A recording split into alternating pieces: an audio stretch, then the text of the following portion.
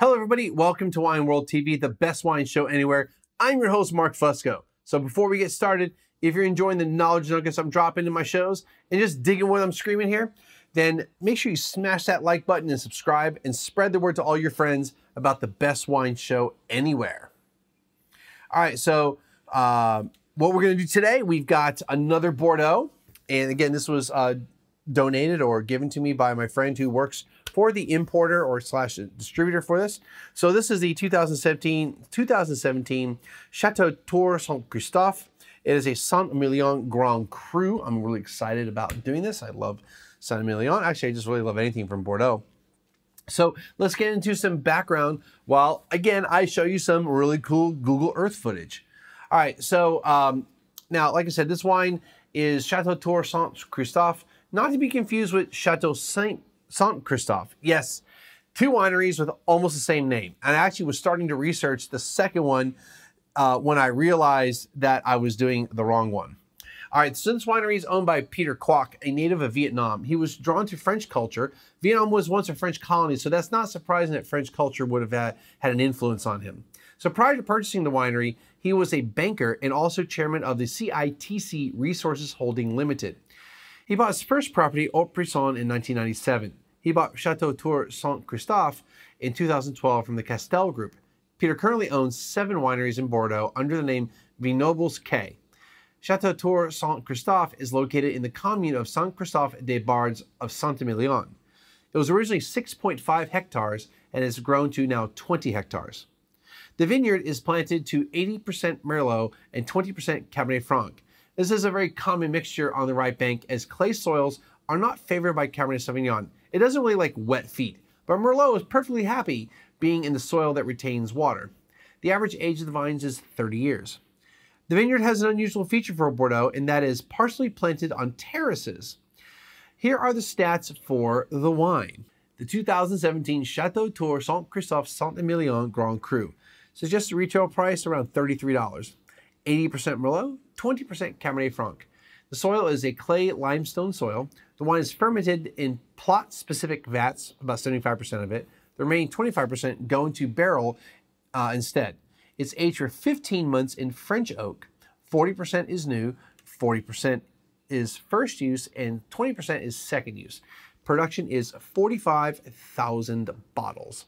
All right, so now let's get into the wine. Very happy that I got some Bordeaux's to review. It's been a minute since I've done anything, at least on camera, with Bordeaux. Like I mentioned in my last review, I've got some Bordeaux's, but most of them have a little bit of age on it. I, mean, so I have some that are, I think I still have some from the 90s, but I definitely have some from the early 2000s and uh, earlier this decade or earlier or from last decade.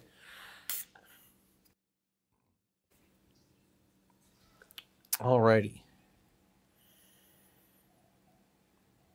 Cool. So in a contrast to the previous episode's wine, uh, you know, this one, the Dorlac, Doriac, Dori, Doriac. Um, this one really kind of leads with really a riper red fruit, like a, a, a, a raspberry, but there's also some black fruit. And, and the vanilla and chocolate really kind of comes through on it. It's like almost like a milk chocolate. Kind of a dark cherry, like a chocolate covered cherry. And chocolate covered raspberry, blackberry. Got some vanilla. Got a little sweet spice going on here. Pretty sure I didn't mention the alcohol on this one either. So I'm just to double check my notes real quick. Yeah, did not put. That's just because the stats, the, the stat sheet didn't put the alcohol on it, but it's 14.5. You can kind of smell the alcohol.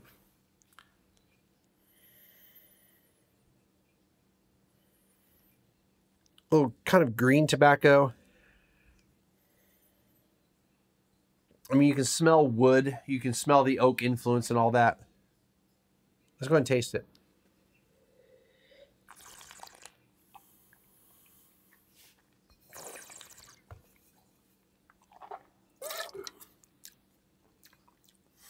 This wine is absolutely delicious. It's kind of mouth-watering delicious. It's really lush it's the Merlot is, is is absolutely the star of the show. I mean, it's 80% Merlot. The 20% Cabernet Franc um, is going to give you a little bit of that greenness, a little bit of that grip and bite, whereas Merlot is giving you that silky and really luscious quality. This is it's funny because you have a lot of people that go, I don't like Merlot, but then you give them a Bordeaux, especially a right bank Bordeaux, especially Saint Emilion, and they just fall in love with it. And I'm like, you know, you're drinking Merlot, right? I mean, mostly Merlot. Technically, this could be called a Merlot in most parts of the United States, as long as it wasn't like an appellation specific, like Napa Valley. But it could say, but it could be like California Merlot, right? I think it could be Napa County and still count. Now, I think it's, I can't think it only be like say North Coast or California as far as California is concerned. Anyway, um, it tastes really good.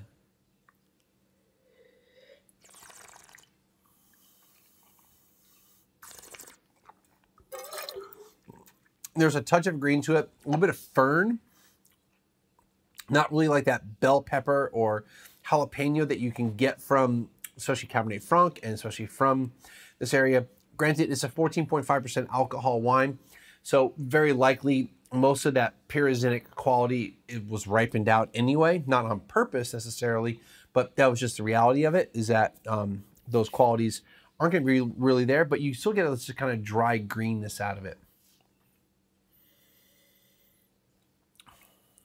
Touch of like blackberry pie.